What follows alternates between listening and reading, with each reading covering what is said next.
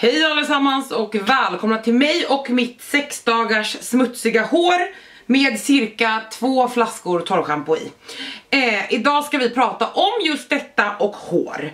Eh, jag har gjort en serie på min kanal tidigare för väldigt väldigt länge sedan där jag har jämfört äkta och fake grejer, någonting som ni brukar älska och jag eh, har inte gjort sådana videor på länge men det var någon som skrev och frågade kan du inte göra en där du testar en fake GHD? Och då tänkte jag, gud vad kul. Innan vi kör någon som helst jämförelse vill jag säga att piratkopiering är olagligt. Jag rekommenderar inte er att handla på det, kommer inte länka den, kommer inte ge ut vart jag köpt den, det spelar ingen roll hur mycket ni skriver och frågar och tjatar. För det brukar vara ett jävla tjat. Piratkopiering är inte coolt. Eh, och eh, don't buy it man. Men i alla fall, det som vi ska prata om idag är, jag ska visa min, det här är mitt original, det här är en GHD Styler, Gold Styler. Och det här är i collaboration med, oj där står det, Lulu Guinness. Och den här kartongen, eller den, den här plattången eller stylen, jag kommer, jag kommer referera som en plattång hela tiden för att jag vet inte bättre men det heter en styler för man kan locka och allting med den. Den såg ut så här då när jag fick den, eller när vi, när jag, ja jag fick den helt enkelt. Och eh, den eh, kommer i en kartong och man får också med i just den här, den här lilla skyddet, det är en värmesäkrad, det här är som en liten värmesäkrad matta. Och sen här i så kan man lägga den då även om plattången eller stylen då är varm. Jag ska jämföra de här mer och det var exakt en sån här jag bestämde, eh, beställde. Jag hittade en Lulu Guinness eh, collab då GHD för 450 kronor. Beställde den, jag tog inte de billigaste med flit för att jag tänkte att om det är lite dyrare så kanske det är större chans att det är en riktigt bra replika om man säger så att det blir en rolig jämförelse. Om ni undrar nu vad som låter så är det min hund som äter och det kan jag inte stoppa. Men det jag fick hem var det här.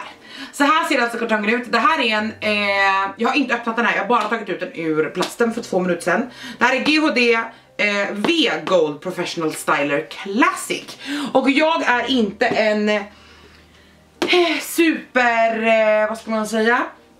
Superinsatt i hårbranschen så jag vet inte riktigt vad skillnaden är eftersom jag inte har öppnat den så kan jag inte heller berätta det för er än. Men det var alltså den här jag beställde och en sån här som jag fick. Det jag kan säga dock, jag ska vända på dem så att jag har dem åt samma håll, är att det är rätt liksom, eh, alltså allt ser, den här ser väldigt legit ut. Texten ser väldigt legit ut, jag kan säkert hitta saker om jag hade om jag hade haft en exakt likadan låda så hade man säkert kunnat hitta. Men det är en bra sturdy kartong. Den är lite så här roughed up. Det märks att den har slängts från Kina hela vägen hit i någon eh, container av något slag. Eh, men överlag så ser kartongen sjukt sjukt lyxig ut. Jag kan bara jämföra så mycket som jag kan med två olika platthänger. Men det är framförallt kvalitet, hur den funkar, om hur den fort den blir uppvärmd och allting som vi ska jämföra. Eh, Lulu Guinness kommer alltså vara den som jag har som referenspunkt. Som en sån här sak, att den här snurrar. Det tror jag inte att min replika kommer göra, men jag vet inte. Den här sitter också i jag är mycket taggad så jag kommer börja med att unboxa den här. Det här är alltså en fake GHD, jag rekommenderar inte att ni köper en. Eh, men just saying. Så här, oh jävlar. Okej, okay, kartongen, en vanlig ass-kartong. Så här ser den alltså ut. Det här ser mer ut som en traditionell plattång.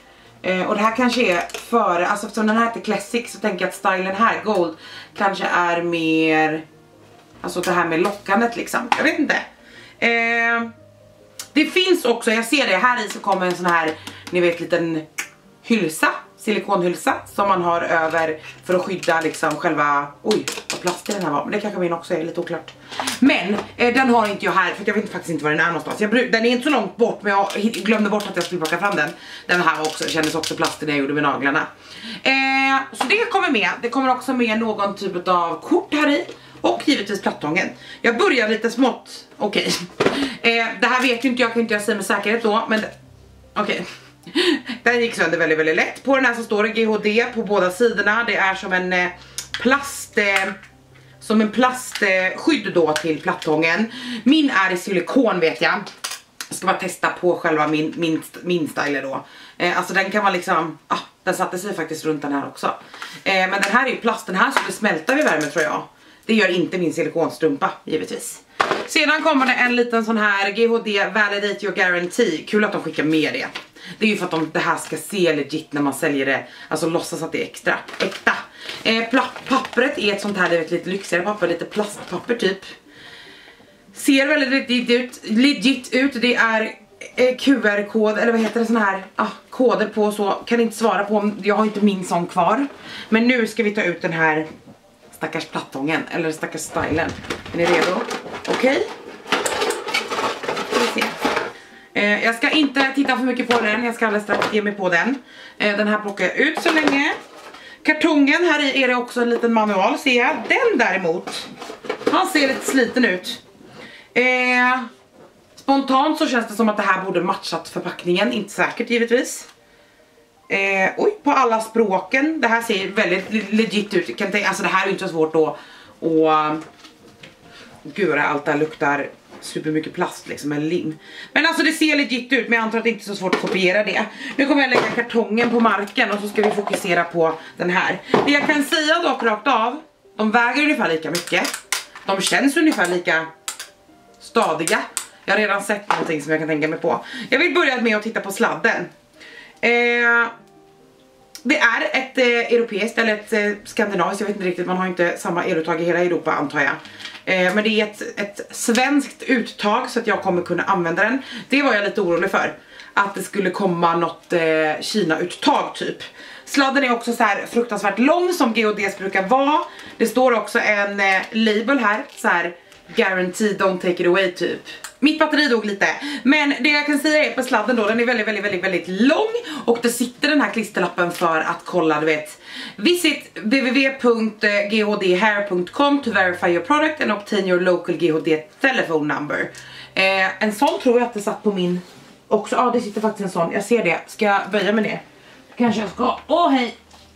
Eh, en sån sitter det här också på min actual GHD. Undrar hur, hur lika de är. Gud, det ser fan i mig exakt likadant ut. Fast eh, ja, alltså jag ser typ ingen skillnad på den svarta då är ju den här är ju min riktiga och den här det ser exakt likadant ut. Gud vad sjukt. Eh, det här är också svårt att säga. Det är en annan startmekanism, alltså det är en upp och ner för att starta eller stänga av den. Min vanliga GHD har ju en sån här, en knapp bara som lyser upp på pipen när man är, är redo att använda den. Eh, den känns väldigt bra kvalitet. Den snurrar också som jag pratade om att jag var rädd för. Den snurrar. Gud vad sjukt. Alltså gud vad sjukt. Eh, den är lite sned. Jag vet inte om ni kommer se det. Men den är liksom, den är inte riktigt rak. Den är också lite repig. Det känns som att den här kanske har legat framme lite. Däremot om jag tittar liksom på själva plattorna. Nu vet jag att det här inte är en exakt likadan eh, eh, exakt likadan modell men det står vilken modell det är, det ser samma varnings eh, såna här skyltar inuti. Allting, förlåt mig, allting ser väldigt väldigt jävla legit ut. Här dock är det som jag såg direkt då vid eh, vid eh, det och det kan ju vara modellen också att det är en äldre modell, alltså så det kanske är så på de äldre men geodet här är liksom, den sitter där, det är liksom inbäddat i knappen medans här är det bara ett klisterlapp uppe på som eh, som helt enkelt är på plattången. Men de känns rätt tung, alltså så, nu där ser man, kolla när jag bara trycker ihop den här nu så är liksom plattången, den biter ihop snett. Eh, så den är liksom inte så sturdy så här. Förstår ni vad jag menar? I själva bitet så.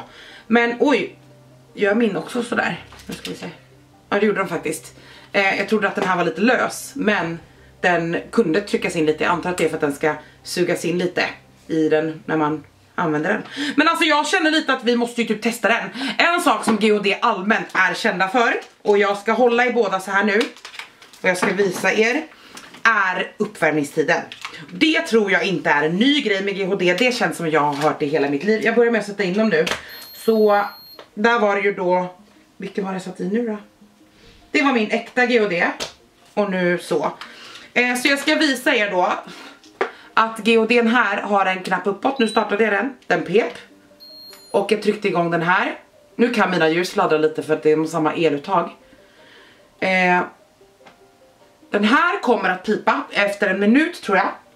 Brukar gå sjukt sjukt fort. Jag ska se om den här också piper. Den lät ju faktiskt när man startade den. Det är en liten lampa. Så, nu var min äkta färdig. Men inte den fika. Vi ska sitta här och vänta. Ska vi se hur lång tid det tar. Om den ens berättar. Ska vi se. Ska inte bränna mig själv. Ja, den börjar bli varm i alla fall. Under tiden som vi väntar på den. Jag ska se till om den låter någonting. Så ska jag ta en hårborste. Och borsta igenom mitt hår. Som sagt, mitt hår är på dag nummer 6. Det var därför jag tyckte att det var rimligt att göra en hårvideo tydligen. Jag hade ju kunnat ha fräscht hår men jag tänkte färga mitt hår närmaste dagarna så att jag tyckte det var lika bra. Nu, pepan! Så det tog ungefär, jag skulle gissa, ni är ju med i videon, men jag skulle gissa på att det blev ungefär att det tog dubbelt så lång tid för den fika. Det kan också vara en modellsgrej. Jag tycker fortfarande att det gick ganska fort. Det måste jag säga. Sen är jag lite rädd nu då, om jag bränner mitt hår så, jag vet inte hur varm den här blir. Jag vet inte hur, jag vet ju ingenting eftersom det inte är en äkta. Eh, så att jag vet inte, men det ska bli spännande att testa. Jag ska testa framförallt plattningsförmågan idag. För att se vad eh, lilla GHD säger. Men det jag kan säga innan vi använder dem är som sagt, det är två olika plattanger, eller stylers, men de känns ta med fan, de är lika tunga typ. Den här snurrmekanismen är bra. Den ser inte billig ut, den ser ut som en GHD liksom. Eh, det enda som jag kan reagera på då är ju att knappen inte är en knapp utan att den är en, att är upp och ner. Och det kan vara så bara. Eh, att det är så. Men oavsett så är det en sjukt, sjukt bra replika. Eh, så. så det ska bli kul att se. Jag ska visa er. Jag ska ta först bara ett hår, eller ett värmeskydd. Nu ska vi se.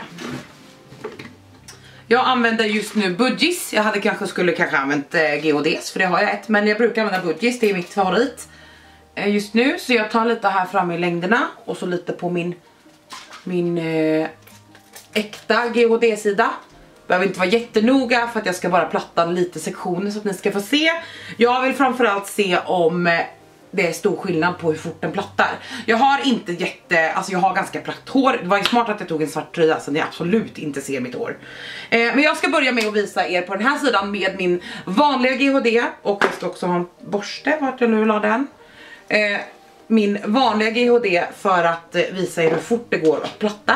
Jag brukar ta en sektion, en ganska stor sådan, den är ganska, inte så tjock dock. Ska ni få se. Jag är ju absolut inget hårproffs, men alltså det brukar inte, jag brukar inte göra mer än så på en sektion. Det blir väldigt, väldigt, väldigt rakt. Jag hoppas att ni ser någonting trots att jag är svarthårig. Och så brukar jag bara följa med antingen med en borste eller en kam. Men som sagt, håret behöver inte vara perfekt nu utan jag vill ju bara att nu ska se. Ni ser ju i alla fall att den plattar väldigt, väldigt smidigt. Jag älskar min GHD, det har ändrat allting med mitt hår. Jag tycker så mycket roligare att göra håret nu när jag har en bra produkt. Så det var alltså den äkta. Här är alltså den fake. Om det här nu bränner mitt hår så gör det det. Då får vi snagga oss. Då blir det nästa video hörni. Margareta snaggar sig. Vi ska se. Jag är lite rädd. Jag ska inte ta en tjockare sektion än vad jag gjorde innan. Det känns inte fair. Jag ska testa på riktigt här nu. Alltså den är ändå lite lättare. Det måste jag säga. Nu märkte jag när jag, när jag tog den i rätt grepp. Eh, att den är lite lite mer plastig. Den luktar också, oh jävlens. Han luktar verkligen bränd plast redan. Usch, jag är rädd nu.